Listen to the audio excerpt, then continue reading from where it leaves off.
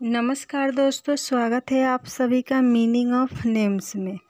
आज के इस वीडियो में हम जानेंगे गजानंद नाम के मतलब के बारे में।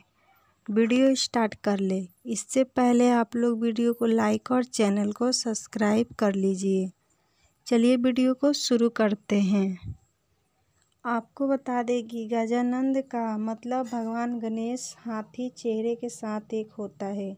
अपनी संतान को गजानंद नाम देकर आप उसके जीवन को एक नई दिशा दे सकते हैं।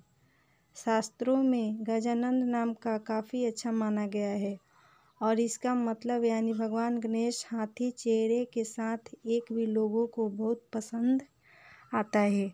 आज के वीडियो में इतना ही। मिलते हैं। तब तक के लिए धन्यवाद।